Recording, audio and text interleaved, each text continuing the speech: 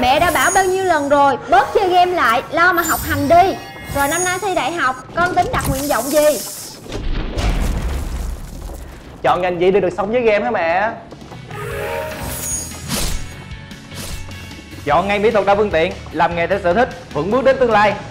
Đón xem buổi livestream mở cửa ngành multimedia thành công từ sở thích cùng chuyên gia hướng nghiệp Phoenix Hồ, đạo diễn Kawai Tuấn Anh và Creative Director Võ Hoàng Hiếu vào lúc 20 giờ ngày 9 tháng 4 tại fanpage Arena Multimedia.